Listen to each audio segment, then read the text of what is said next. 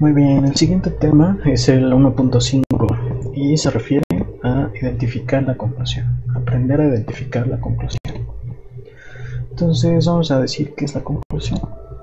Es una crítica que hace el autor de una obra acerca de su propio texto. Y no nada más los autores hacen esta conclusión. Nosotros también podemos llegar a una conclusión cuando leemos algún texto. ¿Sí? En sí vamos a decir que es una reflexión acerca de la lectura.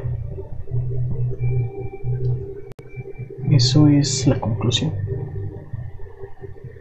Por ejemplo, cuando los ponían los maestros a leer en clase y les preguntaban cuál es la conclusión acerca de ese texto, o cuando ustedes leen cualquier cosa, ustedes llegan a una conclusión.